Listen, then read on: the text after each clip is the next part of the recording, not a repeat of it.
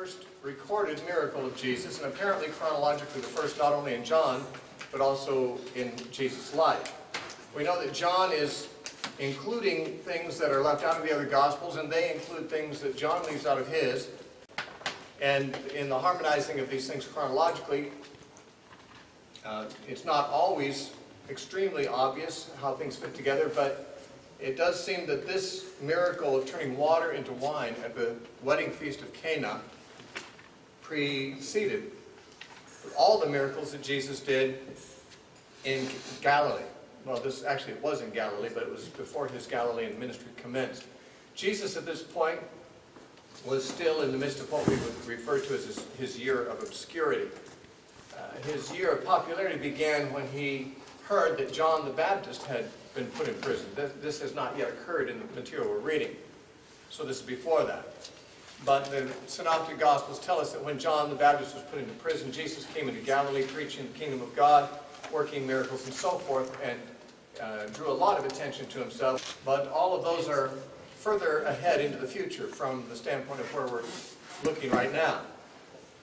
So as far as we know, the turning of water into wine was the only miracle Jesus has done up to this point. It is referred to as the beginning of signs in verse 11. This is the beginning of signs Jesus did in Cana of Galilee.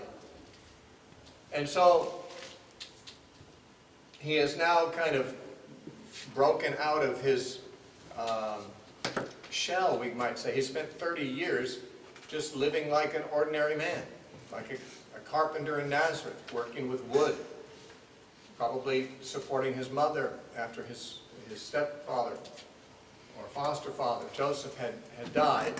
And Jesus has now come out and he's begun to do other things. We'll find by the end of this chapter, uh, he has done more miracles, but we're not told what they are.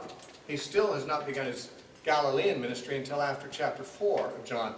But we do see some miracles or signs he does, because it says in verse 23, uh, Now when he was in Jerusalem at the Passover during the feast, many believed in his name when they saw the signs which he did. And that sets the stage for chapter 3, where Nicodemus comes to him and says in chapter 3, verse 2, uh, Rabbi, uh, we know that you are a teacher come from God, for no one can do these signs that you do unless God is with him. So there are, soon after the wedding feast of Cana, there are to be signs, additional signs, done in Jerusalem. But we have no distinct record of what they were. But it would appear that Jesus began to publicly do signs in Jerusalem before he began his public ministry in Galilee. Galilee was really his primary ministry. But John, probably writing after the other apostles were all dead, and not wishing to have his memories of, of his time with Jesus, uh, you know, perish with him when he would die as an old man, uh, he's putting down things that were not in the other Gospels, and which he did not wish to have disappear with him. Now, one of the things that he includes is a cleansing of the temple by Jesus at the beginning of Jesus' ministry. Now, in the Synoptic Gospels, all three of them tell us that Jesus cleansed the temple with a whip of small cords. But the difference is that in all of those Gospels, it is at the end of Jesus' life. It is in the Passion Week that the other Gospels place this cleansing of the temple. And all three of the other Gospels give it. And, and the, uh, there, are, scholars sometimes think maybe John has put it out of proper order here. But I think it's more likely that what John has done is told us of a, an earlier cleansing of the temple at the beginning of Jesus' ministry. And the synoptics tell us about a, a second one at the end of his ministry. It would be like John to uh, tell us something that's supplementary rather than a duplication of what the other Gospels say. There's very little duplication in John. Uh, the only, actually the only thing in John's Gospel that duplicates the other Gospels is the feeding of the 5,000 in John chapter 6. And, and of course the crucifixion and resurrection of Jesus. But apart from that, the book is almost entirely unique material that, that fills in gaps in the other Gospels. And so I'm of the opinion that Jesus cleansed the temple twice. And once was at this very early stage, and once was at the very end of his ministry. Now, why would he have to do it twice? Well, for the same reason he'd have to do it once. Uh, because uh, the, the temple was being abused. And he did not like that, and so he cleansed it, and then apparently, like three years later, something like that, it had, of course, in the interim, fallen back into abuse, probably the entire time. And so he cleansed it one more time at the end of his life. To say these are the same incident, but just put in a different chronological place in John would be to ignore many differences between the accounts. Jesus said different things on the two occasions. Matthew, Mark, and Luke all record what Jesus said in the cleansing of the temple, and they all agree that he said, uh, my Father's house is to be a house of prayer, but you have made it a den of thieves. In this passage, there's no reference to a den of thieves, or the, the fact that the uh, Father's house is supposed to be a house of prayer. Instead, he says, do not make my Father's house a house of merchandise. Now, house of merchandise isn't the same thing as thievery. Uh, you know, any, any shop is a place of merchandise, but it's not necessarily thievery. A den of thieves is obviously something much more corrupt. In this occasion, Jesus doesn't raise the same complaint.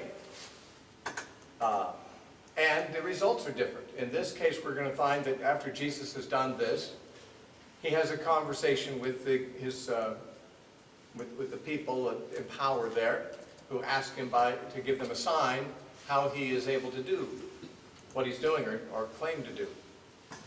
In the other cases, in the Synoptic Gospels, after he cleansed the temple, it says they were afraid to do anything to him, but they wanted to kill him.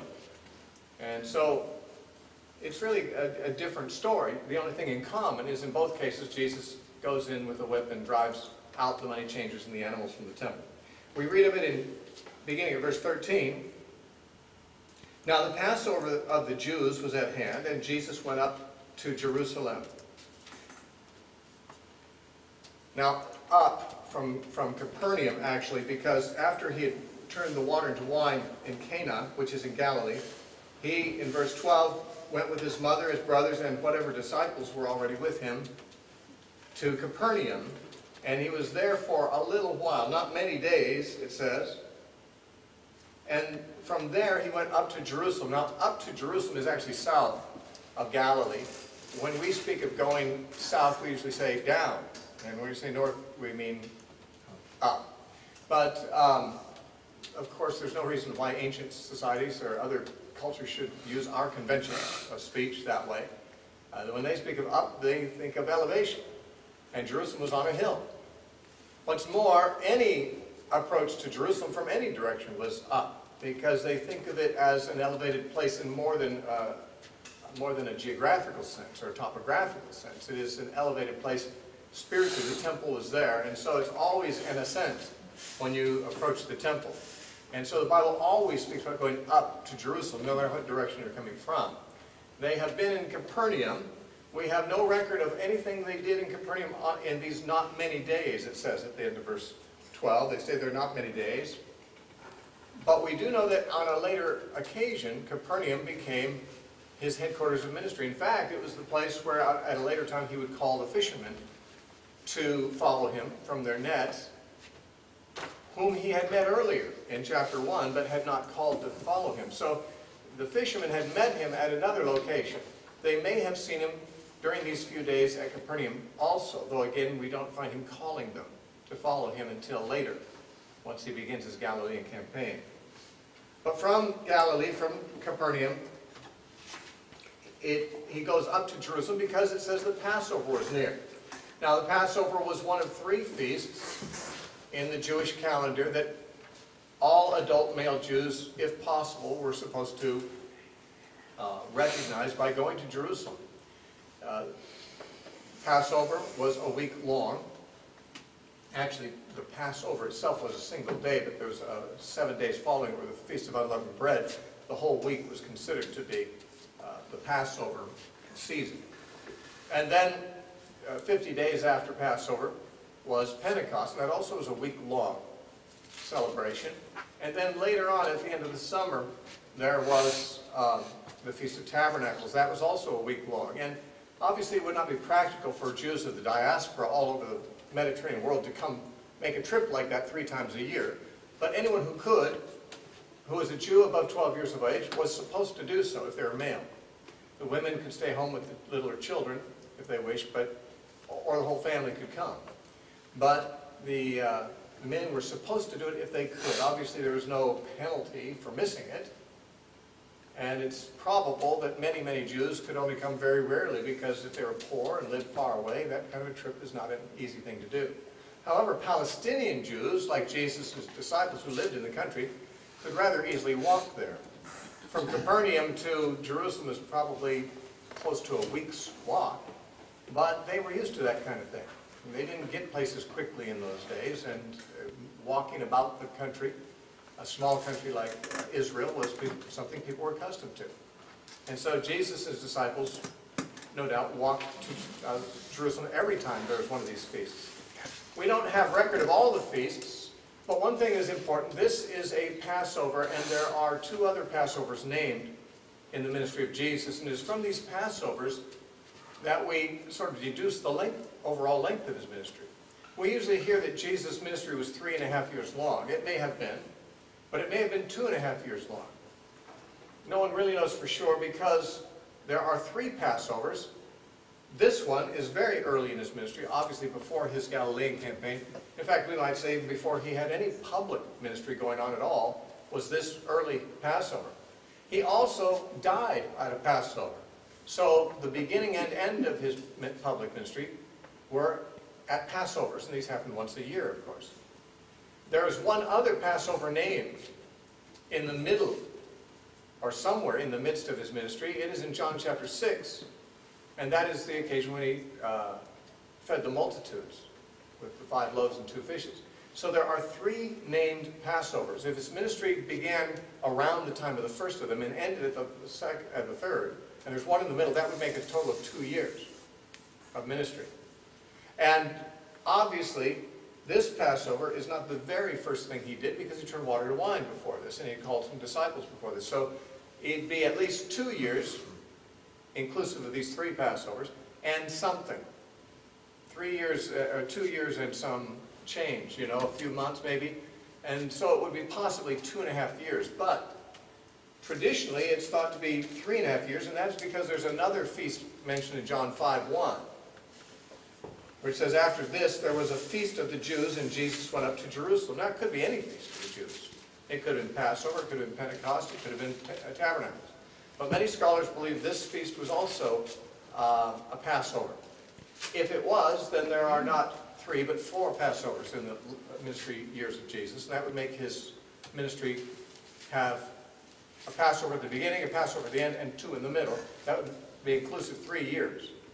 And as I said, prior to John chapter 2, verse 13, there's been some activity. So his uh, ministry activity, perhaps from his baptism to his crucifixion, could be three and a half years.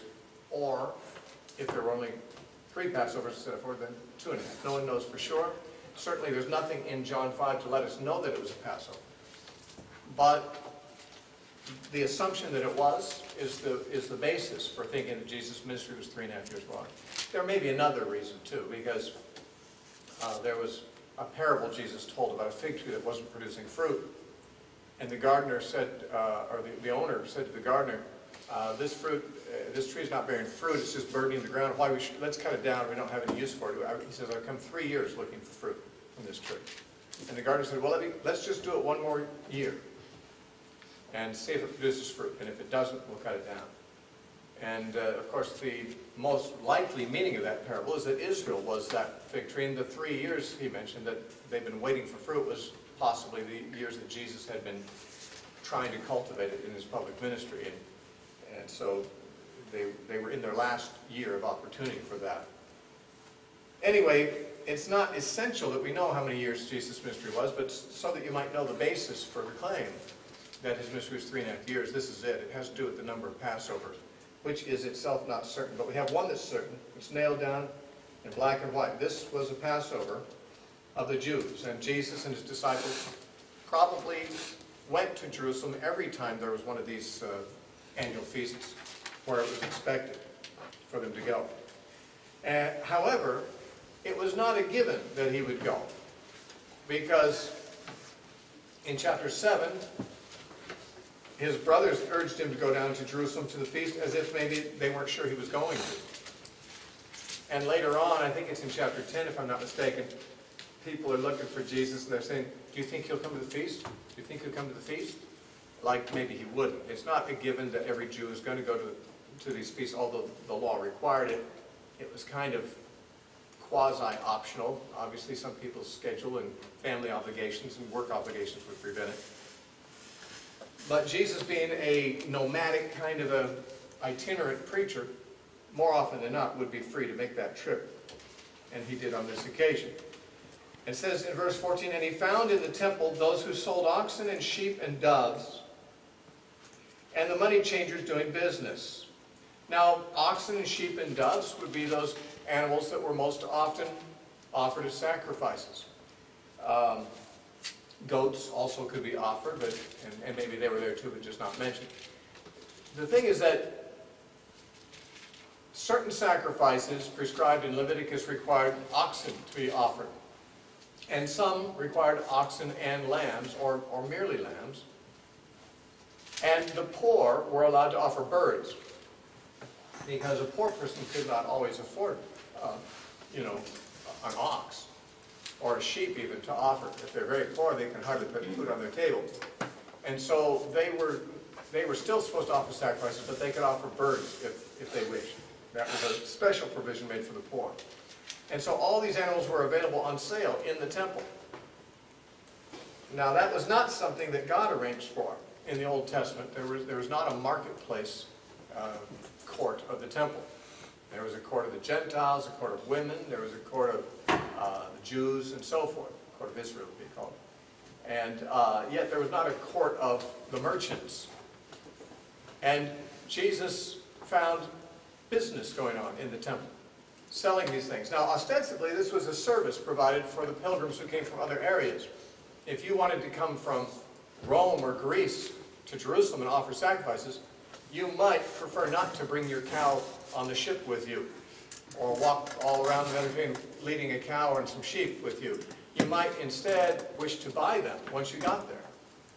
Just bring your money with you and you can buy an animal in Jerusalem and offer it. However, the law was very explicit that the animals offered had to be without any blemishes, without any flaws. Couldn't have a spot, even a freckle on the inner part of the lip was, the, the, uh, the priest would reject an animal like that. Had to be absolutely flawless. Well, uh, it was no doubt the case that people would sometimes bring their own animals, and the priest could easily find some little speck on it somewhere and say, oh, sorry, you can't do that, you have to buy one of ours. You have to pay us. So that they began to prey upon the worshipers. You know, the worshipers were just coming to worship God, and the priest turned it into an opportunity to make a lot of money off it. So that the people would begin to look at their temple worship with uh, anger and with, and, and with uh, disdain. They would, re, they would resent having to go because they realized that, you know, we're going to have to buy one of their animals at inflated prices there when our animals should be good enough, but they'll find some fault with it, so they're just going to soak us for money. And people would become cynical about this and, and not look forward to coming to worship God at the temple because it's going to be a, just another chance for them to get soaked and victimized. So, in other words, these merchants had turned the worship of God into something that the worshipers did not like, did not look forward to. I mean, not that they didn't love God, it's just that the other things that were associated with it, the, the rigmarole, the, the, uh, the extra money that they're being charged for things, this would be something that would make them have rather a cynical attitude toward worship. Just as in our own time, there are people who have a cynical attitude toward church because it seems to them, or toward Christian media ministries, because it seems to them that they're always just asking for money. That's what you hear a lot, you know. Now, churches have become sensitized to that more in, in modern times. I mean, I think a lot of pastors have come to realize people feel that way. And so a lot of the, a lot of the churches, the ones that tend to be more popular, really play that down. And they don't seem to beg for money an awful lot. You'll still hear it, though, in some of the smaller churches uh, because they need more money, frankly, because they're small and they don't have many people supporting them. But people have sometimes gotten the impression that the church is just going to want their money. And there are people that I, I know I grew up hearing people complain, they didn't want to go to church because they're just gonna be put under pressure for money. And so they don't, when you go to church, you're supposed to go there to, to, you know, enjoy God, to enjoy worshiping God. But when there's this, uh, this monetary um, aspect that people resent, then the worship of God seems odious to them. And that's what was true, I believe, in the case with Eli's sons. Eli's sons were priests, and they, uh, you know, they, they, they, they abused their position in a big way. Eli's sons, I think, actually slept with the women who came to worship there and took some of the portion of the meat for themselves that was supposed to be burned or, and given to God. And, and it says that the worship of God became odious in the sight of the people. People didn't want to worship God because the priests were taking advantage of them when they go. And they didn't have any choice. They couldn't elect new priests. The, the priesthood was hereditary. You know, the priest was the son of the previous priest and the grandson of the one before that. So those who sort of oversee the worship of God, the public worship of God, whether the priests in the temple or pastors and elders of the church, uh, they need to be careful that they're not using their position in a way that will simply further their own financial interests and make people not want to worship God because they see it through a jaundiced eye. Uh, they see there's you know something corrupt about it. And oh, of course we know that many media ministries, especially uh, especially uh, Christian TV, have been exposed because they soak widows like the Pharisees. They they uh, what's he say? They rob widows' houses and for a pretense make long prayers. Many of the people who support media ministries are widows on fixed incomes and so forth. And uh, a lot of the men who are on these, these uh, expensive TV ministries and are trying to soak people, they know it's coming from women on fixed incomes. They know it's coming from widows. It's the biggest uh, sector that contributes to them, I think. And, and then these guys get caught, either absconding or wasting or using too much of the money for the wrong things, and it, it just makes people have a, uh, a sour taste in their mouth about Christianity in general. And that is something that ministers can ruin people's love for God in a way, or at least their desire to worship Him in any public way. And that's what was going on in the temple here. Jesus came there and he saw all this business going on in the temple. Now, by the way, a lot of churches now have businesses set up. The big, really big churches, the really big seeker-sensitive churches, they have, they might have bookstores, which is convenient actually for, for the parishioners. If people want to buy Christian books, it's, it's more convenient to do it right while they're at church. Uh, they might even have a coffee shop in there and stuff. And I'm not, I'm not really commenting on whether a church building should have more parts of it that offer different things besides a, a sanctuary, because church buildings aren't scriptural anyway. I mean, if you're going to have a church building, I don't know that we can say there are biblical perimeters for church buildings, because there aren't any. There are no church buildings in the Bible, nor any assumption that there would be church buildings. The church is not a building. But it, it, it can be so that the, the church becomes a place where some people seek to make money off of the other people who come there. I know there, for a fact, because I've met them, there are people who are make their living in sales, maybe insurance salesmen or you know, people like that, who go to church for no other reason than to um, develop relationships with potential customers. And they turn the church of God, the temple of God, into a house of merchandise. That's all they're there for, is to further their business and not to worship God. So there's many ways in which what these money changers were doing might be duplicated, even though they weren't doing anything criminal. But they were, they were just doing the, the wrong thing and uh, turning temple worship into something that was a lucrative business for them, rather than just something where God is glorified and God is loved and God is worshipped by people who, uh, who just enjoy coming to, before God like David did. Remember David said in his day, one thing I have desired of the Lord, that will I seek, that I may dwell in the house of the Lord. He means the temple, uh, in his case the tabernacle, and, and that I might meditate in his temple, I might behold the beauty of the Lord. That's the ideal. That people, when they come to public worship, they come to meditate and to behold the beauty of the Lord and, and not ever want to leave that place. But uh, public worship can be turned into something else by those who manage it, the handler. And the temple handlers had allowed that to happen at the temple. And by the way, there wasn't another denomination down the street people could go to if they didn't like the, the priests at this temple. There weren't two temples. There was one in the whole world, and it's the one they had to go to. So it's not even as if, you know, I don't like the way this preacher does things, so I'm going to go down to this next church. They had to go to this one. And so it was definitely, uh, it was the only game in town if somebody wanted to worship God. So when Jesus had made a whip of cords, he drove them all out of the temple with the sheep and the oxen, and poured out the changers' money and overturned the tables, and said to those who sold doves, Take these things away, do not make my father's house a house of merchandise. Then his disciples remembered that it was written, Zeal for your house has eaten me up. Now, Jesus making a whip and driving them out has sometimes been interpreted as Jesus actually whipping the, the merchants themselves. And with this picture in mind, many people bring up this incident, or else the other one at the end of Jesus' ministry, which was similar, as examples of Jesus favoring violence. Um, when you actually take Jesus' words seriously about turning the other cheek and, uh, you know, having a, uh, a gentle response to those who are your enemies and things like that, loving your enemies, blessing those who curse you, and so forth. People often point to this incident or this kind of activity of Jesus, since he did it twice, and they say, see, well, Jesus even drove the money changers out of the temple.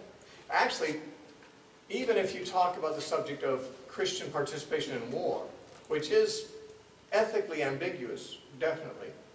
I mean, many people feel it's biblically defensible and may feel like it's not.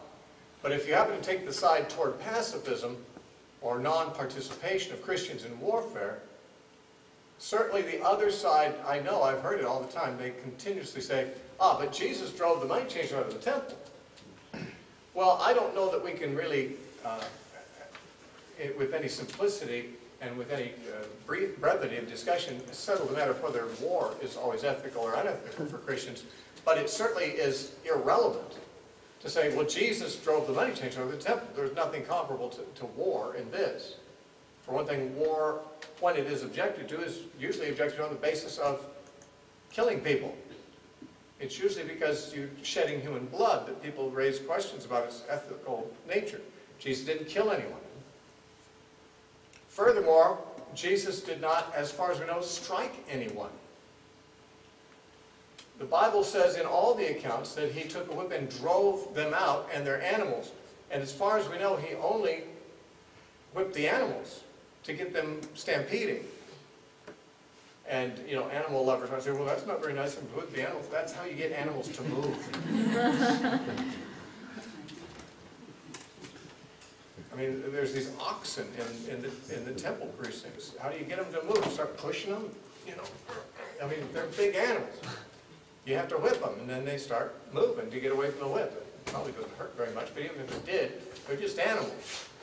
There's no reason to believe that Jesus whipped people, though frankly, if he had, I wouldn't have minded, you know. I mean, he's had every right to drive, forcibly drive people out of his father's house. It's just like if you came home to your parents' house and it was also your home, and you came there and found people doing things there, having a big party there, doing things your parents wouldn't approve of, you know, getting drunk and watching, you know, porn and things like that, and, you, you've got godly parents and some of how these people come into their house and, you know, defiling it, you might just, you know, physically manhandle some of those people and throw them out the door. That's, Jesus had every right to do that. It's his father's house. That's not what his father wanted being done there. But I don't think he had to do that. I think what he did is he drove the animals out and he knocked over the tables with their coins. And, you know, where the man's money is, he's going to go after it. He didn't have to he didn't have to hit the people. They're going to go after their merchandise. So Jesus has to just get the merchandise out of there, and then the merchants will go after it, lest they lose all their stuff. So there's never any place in the Bible that indicates that Jesus whipped a person. He may have, but, but there's no reason to believe that he did. He didn't need to in order to accomplish what he did, and the Bible doesn't ever say that he did. But he did drive them out, and apparently in acts that would have appeared violent. I'm sure that every dramatization of this in Christian movies and even in our minds pictures a rather, you know, perturbed, angry, shouting kind of Jesus, and that may be exactly what he was. Although it doesn't necessarily say he was shouting. He could have driven the cattle out without doing that. But getting angry, and this doesn't say he got angry, but it certainly looks like he got angry, is, a, is not always a sin. Anger is often a sin, and the Bible often speaks of it as something that we should not have, but Jesus did get angry, although zeal is the word that is used in describing his attitude. But zeal for a good thing can be anger at a bad thing, certainly. But to say that Jesus was sometimes angry, we can, we can be sure of that because in chapter 3 of Mark, we read this. There was a, Jesus was uh, in the or in the uh, synagogue on a Sabbath day, and there was a man there with a withered hand. And it says in Mark chapter 3, verse 2, and they watched him, that is, his enemies watched him, to see whether he would heal him on the Sabbath, because that was considered to be not okay to heal on the Sabbath. So they wanted to see if they could catch him doing something wrong and, and nail him for that. And it says in verse 3, And he said to the man who had the withered hand, Step forward. Now he knew very well these people were watching him, so he was going to give them something to see.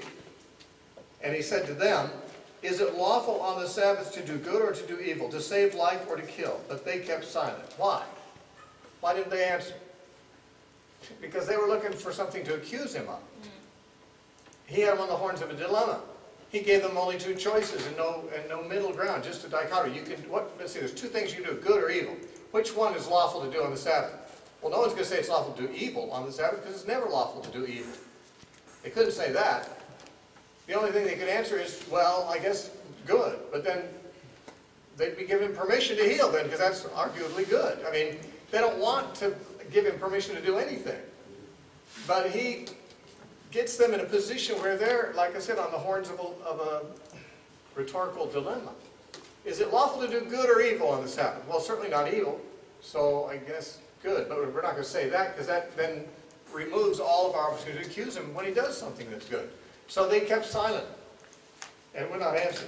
It says, and when he had looked around at them with anger, being grieved by the hardness of their hearts, he said to the man, stretch out your hand. So uh, it says that Jesus had anger toward them.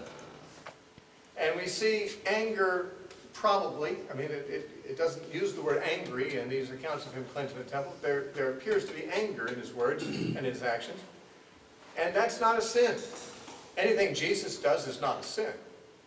Now we might say, well, Jesus, being God, has every right to be angry. We don't, and therefore it's a sin for us to be angry, but not for him.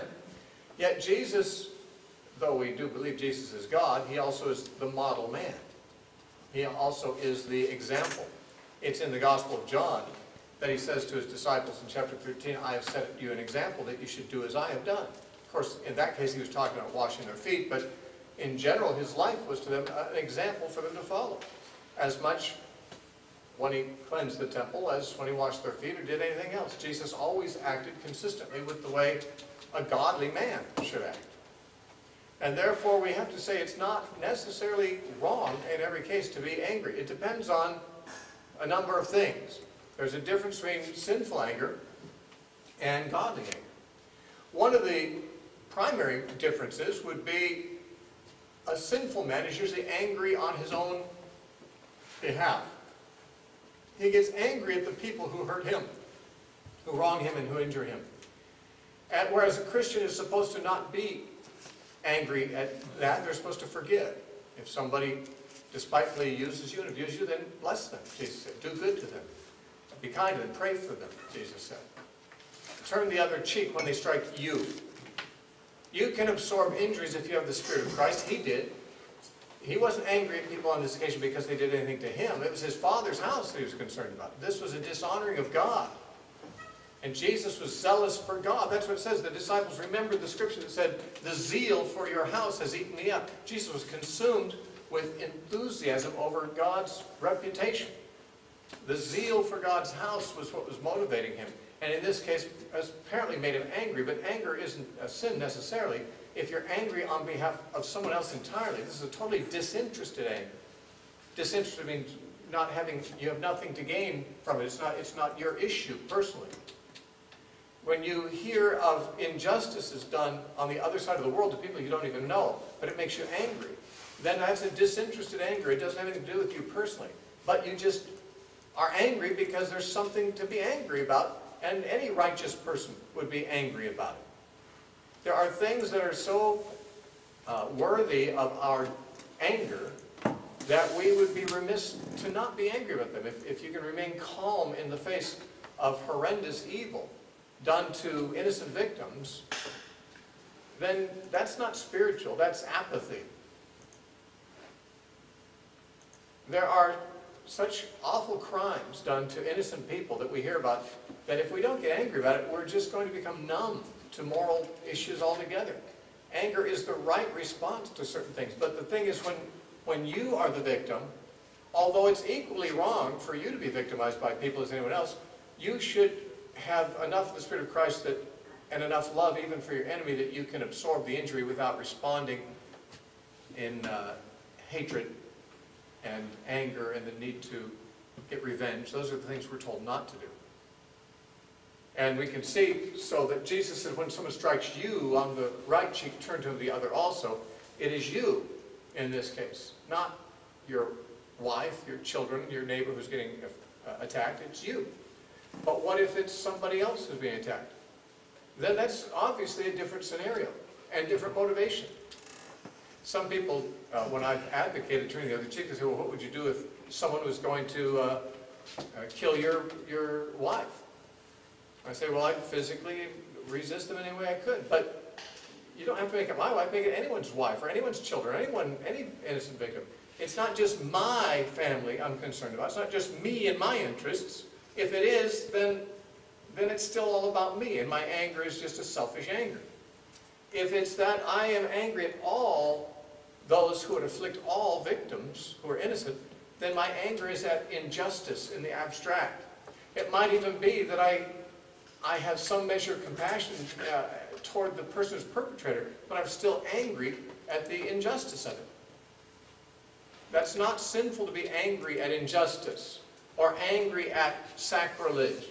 You still have to be, in some sense, at some level, loving toward the person even who's committing it because God loves them. God loves his enemies. God loves sinners. And so should we. But he's also angry at sinners every day, it says in the Psalms. Can you be angry at someone and love them at the same time? Of course. Ask any mother or father. When your children are, you know, they just, they do the wrong thing continually after they've been told the right thing, you get exasperated. Now, if you get exasperated just because you're impatient, then that's your bad, you know. But if, if it's because you love them and you're concerned about them learning the lessons that they need to learn for their good in life, it, there's a different aspect to that. You, you get frustrated and angry because you love them, not because you don't. And, uh, you know, when people do things that are endanger themselves, and they're, they're not wise enough to heed counsel or instruction so that, you know, they're going to hurt themselves. It's, it's easy to get angry at somebody for that because you care about them, not because you don't.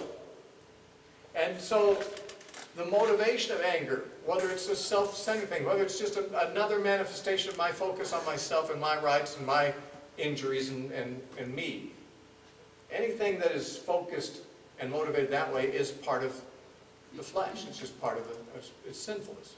It's part of my tendency to put myself at the center of the universe and expect the universe to cater to me. That's what we do by nature from birth. Conversion refocuses, recenters that thing so that God's concerns and the concerns of others are more important than our own. And then there are things to get angry about that's not wrong to be angry about. When Jesus was angry in the synagogue at the, at the men who were not willing to answer him honestly when he said, is it lawful to do good or evil? He was angry because they were more concerned about their religious rules, enough so even to not even be honest enough to give the answer they knew was right because they'd have to lose a point in this, in this tension between him and them. They didn't want to lose any position of theirs. And for that, they'd be willing to let this man who lived with a lifelong injury to his arm remain crippled rather than give in and say, you know, you're right, Jesus. It is lawful to do good. Please heal that man. You know, I mean, they, the, their religious attitudes victimized people and prevented them from being helped. And, and Jesus was more the reflection of where God's heart was at. God wanted them to be helped.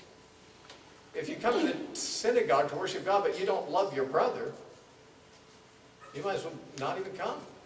And they were there with an attitude to, to find fault, to criticize, to keep Jesus from doing good things on the Sabbath that help people.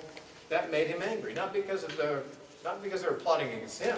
When they finally caught him and put him on a cross, he said, Father, forgive them. They don't know what they're doing. He didn't appear to be angry there.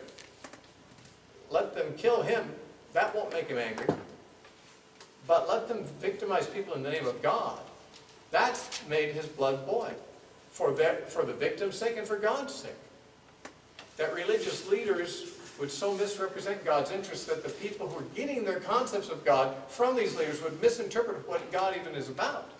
This made him angry. And I really think that there's problems like that throughout church history, that there are many people who want nothing to do with the church because the church has misrepresented God so much. Uh, and, and we can easily, we, we who are of the Protestant stream can easily look back at the Middle Ages when it was just the Roman Catholic Church and all the abuse there. All the, you know, bilking of the poor to build big cathedrals and all the corrupt bishops and popes and all the use of fear and terror to keep people in line and making God seem very, very angry and giving people the impression if they give them enough money, they'll get people out of purgatory. I mean, all this perversion of the gospel just makes God out to be a totally different kind of being than he is. But coming out of the Roman Catholic thing in the Reformation hasn't, hasn't purged the church of all of that. Even, even in Protestant circles, it's very common to give people the impression that God is easily angered, when the Bible says he's slow to anger and plenty of mercy. That God will take pleasure in burning people forever and ever in hell. When the Bible says he has no pleasure in the death of the wicked, much less the torture of them. The, the character of God is so misrepresented by the leaders of Christianity that people who would really love God if they encountered him often are driven away from him. They, they're turned off by the name of Jesus because they think he is what, what the Christian leaders have represented him as. And sometimes it's been a misrepresentation. That makes Jesus angry, I believe. When people who would love God, if they saw him as he is, are driven away from him because he's misrepresented by his spokespersons, that's ang that makes him angry. Remember what he did to Moses? He said, Moses, go speak to the rock and tell it to give water. Moses was angry. God wasn't. And Moses goes out there as if God's representative. He, he's angry at the people. And says, you rebels, must I strike this rock to give you water? Well, God had told him to speak to it, not to strike it. And he struck the rock, and God graciously gave water. But then God took Moses I said, Moses, uh, got a little something to talk about here. That's not what I told you to do. That did not represent me correctly. You did not sanctify me before the people. Therefore, it's going to cost you. You cannot go into the promised land. Moses, who had suffered so much for God's sake, Moses, who had been so obedient for 120 years, uh, you know, now he can't. And, he, and, God, and Moses complained to God about that later, many times. He said, now God, can we renegotiate that? God said, don't bring that up again. You're not going in because you did not sanctify me before the people. Wow.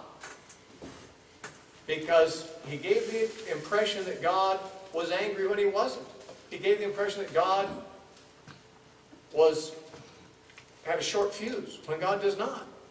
It was Moses that had the fuse that was short by this time. I, I don't know, that, I'd say Moses had a short fuse. It took him, he took a lot of guff before he ever got that angry, but he, his fuse ran out before God's did, and he gave the impression that God was at the end of his patience, and he wasn't. And that cost Moses because you, you know, you have to represent God rightly if you're the spokesman for God. You can't tell people that God is a certain way that's, that's, that misrepresents Him. Because then the people who, who wouldn't really be turned off by God are turned off by the God you present. You almost have to wonder sometimes about the people who are not Christians in our society.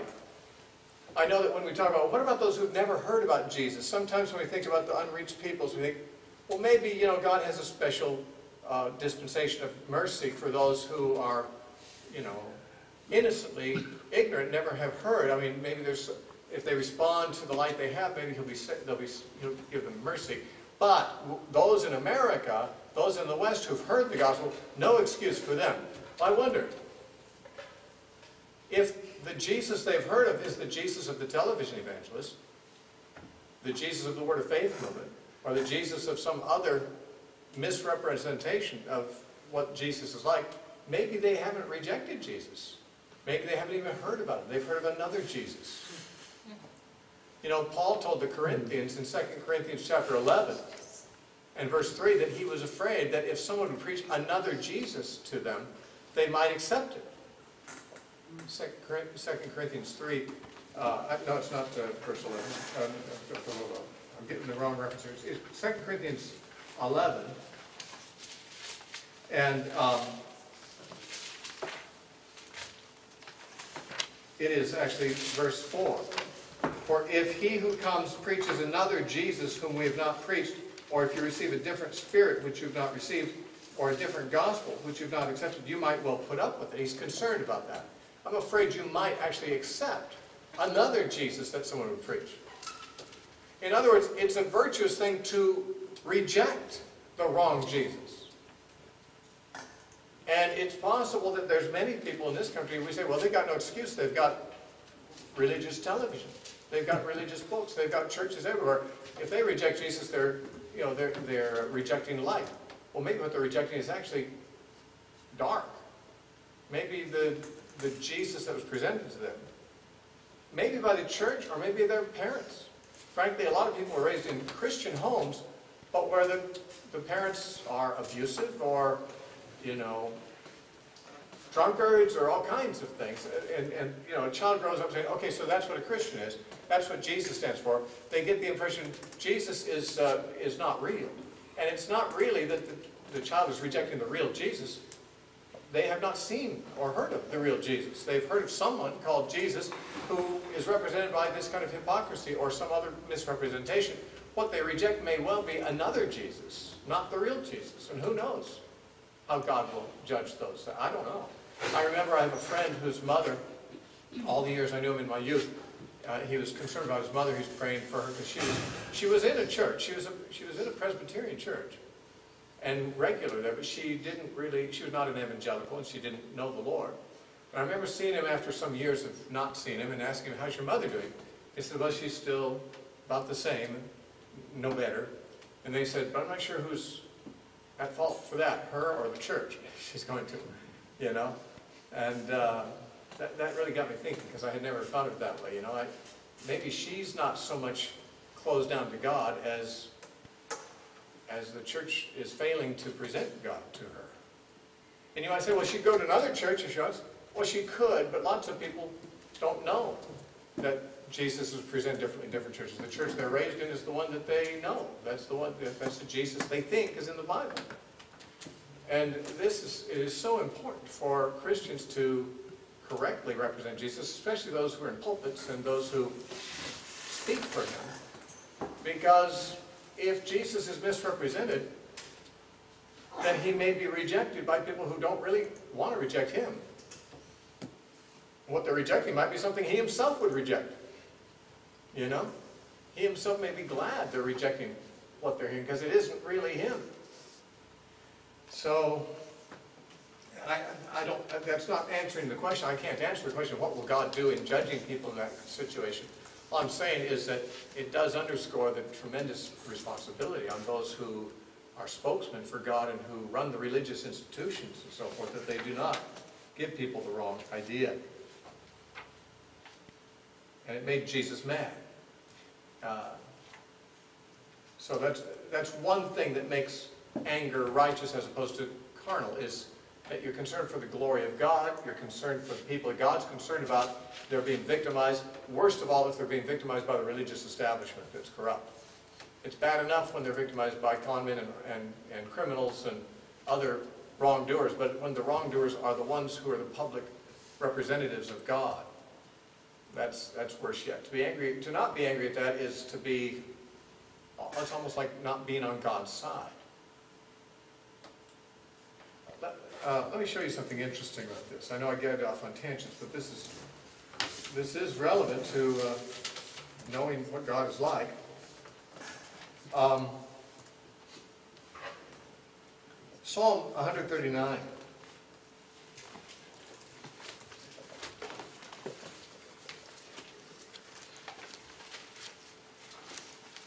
Psalm 139, verse 21 and 22. David says, Do I not hate them, O Lord, who hate you? And do I not loathe those who rise up against you? I hate them with perfect hatred. I count them my enemies. Now that doesn't sound very pure in heart, and yet look at his very next words. Search me, O God, and know my heart. Try me and know my anxieties. See if there's any wicked way in me, and lead me in the way of blessing. David says, I don't know of any wicked way in me, but let me know. God, search my heart and see. Well, isn't it kind of on the surface there? you know? When you say, I hate those people, I loathe them, I count them, isn't that kind of wickedness in the heart? I don't think so. I think David felt perfectly pure conscience about his attitude. Why? I mean, Jesus tells us to love our enemies. Well, David wasn't talking about his enemies. He's talking about God's enemies. He said, I count them my enemies. Not because they are, but because they're your enemies, and I'm on your side, God.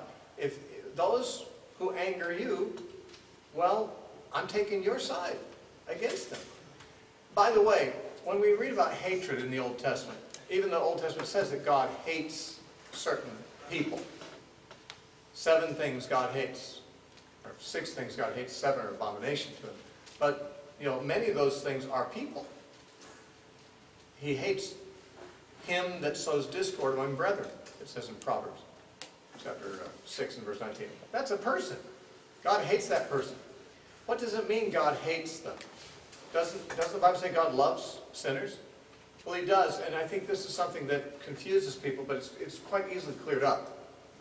The word hatred, or the word hate, obviously in different usages, can mean the opposite of love. Or it can be the opposite of liking.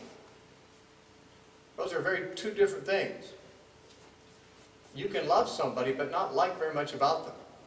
You don't like their life, you don't like their uh, values, you don't like what they're doing, you don't like what they're thinking, you don't like the things they say, because they're wicked and evil or foolish things. You don't like them. Liking has to do with enjoyment of something. Do you like sauerkraut? Well, some people do, some don't.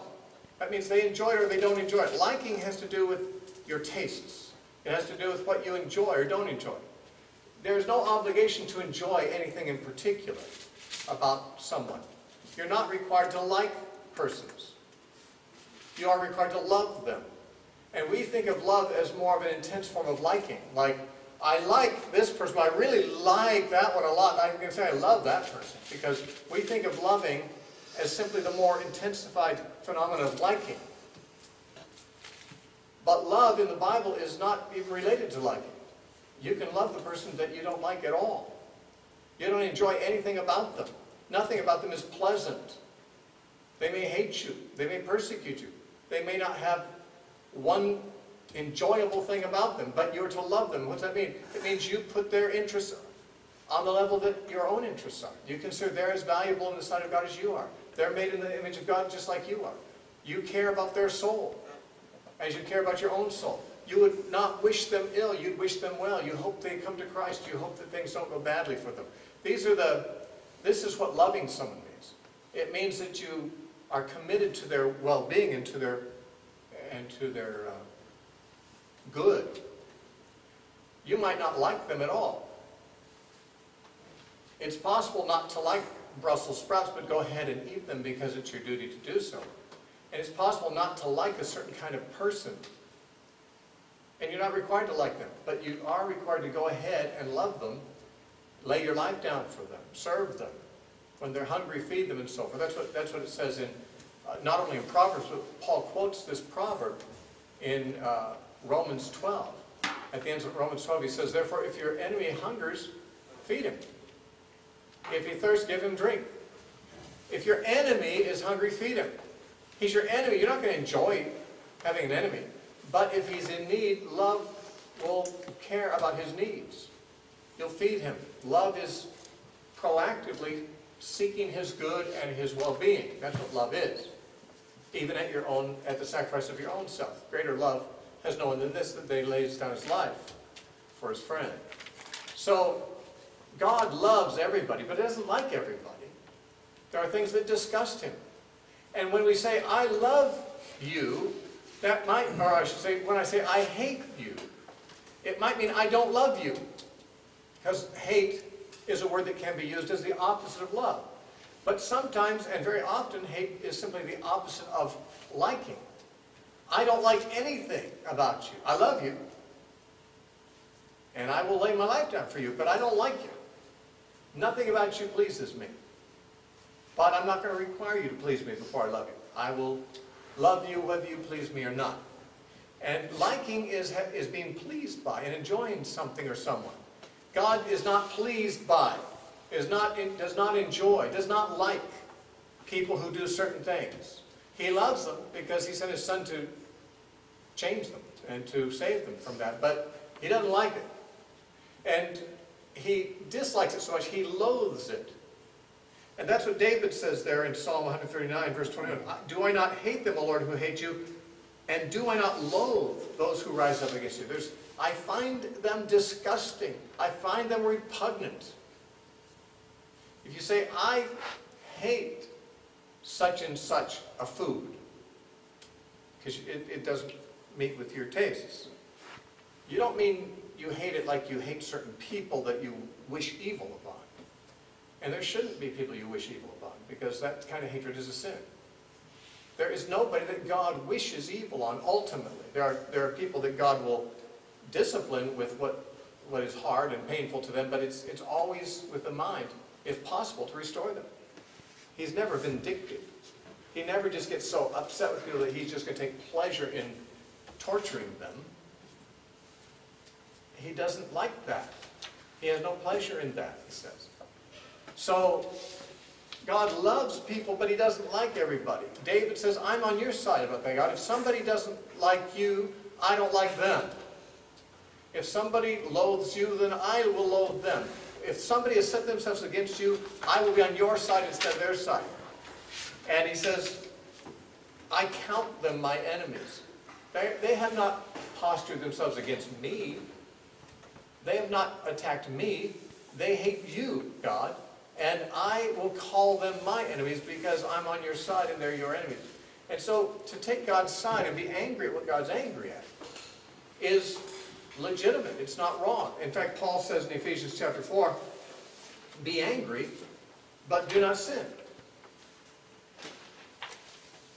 In Ephesians chapter 4, verse 26, Paul says, be angry and do not sin.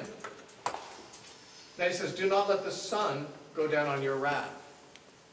Well, doesn't the Bible say we shouldn't be angry? Well, it, it does, actually, if you look a few verses further down in Ephesians 4. In Ephesians 4.31, he says, Let all bitterness, wrath, anger, clamor, and evil speaking be put away from you. You put that away from you. That's how you be angry and do not sin. You put it away. You get angry at the right things, but you don't hang on to it. You don't let the sun go down on it. You don't make that the defining mood of your personality. You, you get angry appropriately, and then you put it away. You put away that anger. It's not sinful to, to feel it. It is sinful to hang on to it. And it's dangerous to sleep on it. And uh, so there's anger that is righteous, and there's anger that's not righteous. Anger, by the way, is a it's a, it's, a, it's a proper reflex. Like when the doctor hits you in the right spot on the knee with a little hammer for your knee to go out. There are things, there are certain moods and attitudes that are proper reflexes to a healthy soul. Even fear is healthy of a sort. The Bible continually says, don't fear, don't fear, don't fear. And yet, it doesn't mean feeling fear initially is a bad thing. Anger and fear are both emotions that are very natural and appropriate responses to certain things.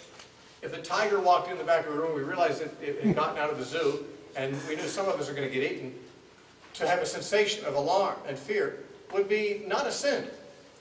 In fact, God gives those emotions to animals to get them away from predators too. You know, animals don't sin. It's not a moral issue.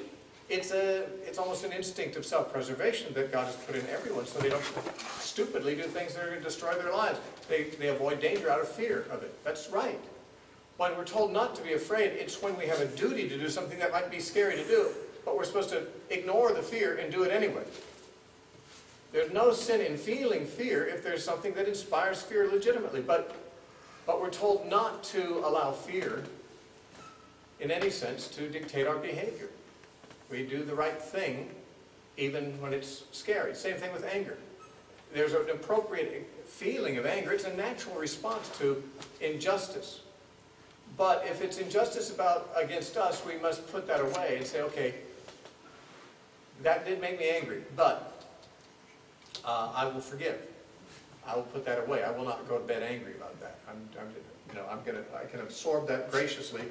I don't have to let that ruin my spirit and, and corrupt my spirit and make me embittered and so forth.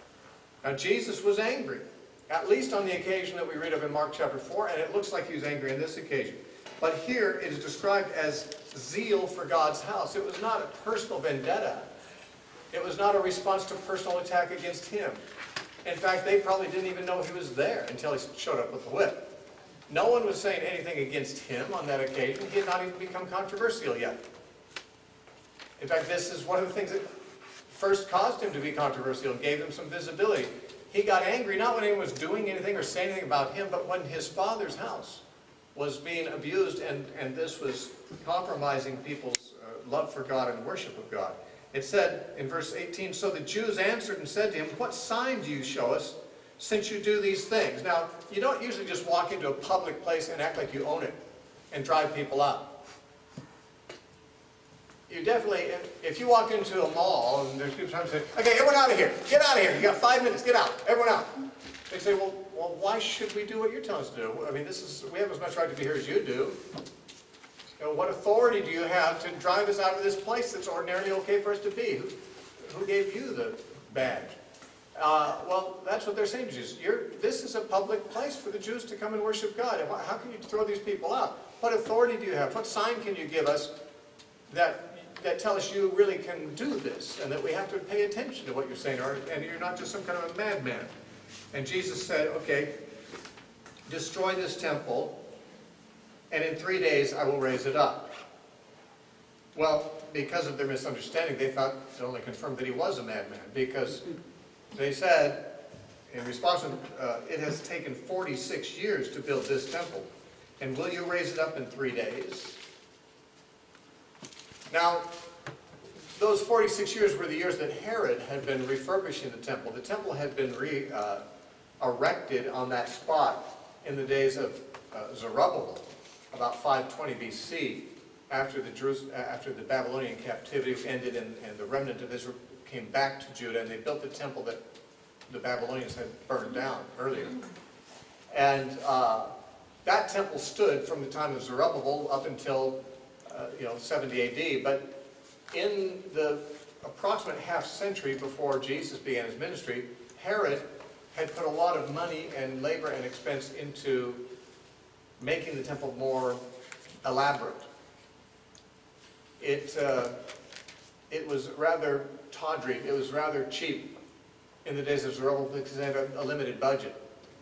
And they didn't have all the materials that Solomon had earlier when he built the original temple. And so they made sort of a, a scaled down, uh, less impressive version in the days of Zerubbabel. And Herod, in order to ingratiate himself with the Jews, made it one of his major building projects that he put a lot of money into making that temple a beautiful structure, one of the seven wonders of the world. And so that had been going on for 46 years at the time that Jesus made this statement. He said, It's taken 46 years to build this temple. And will you raise it up in three days? Now, they obviously thought he was nuts, but he let them think that. He didn't say, well, I realize that sounds kind of crazy, but let me explain what I'm talking about here. Of course, if he had explained what he was talking about, he'd sound even more nuts.